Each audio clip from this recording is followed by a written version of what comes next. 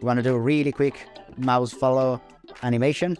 You're gonna need three things. One thing is going to be a mouse object that's gonna hold the X and the Y position.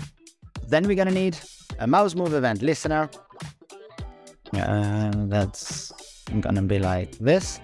What we want to do, because like the, the event listener for mouse move is gonna give you basically the, the value of the pixel of where your mouse is. What we now can do with the code we had before, we can make the, the rotation of this.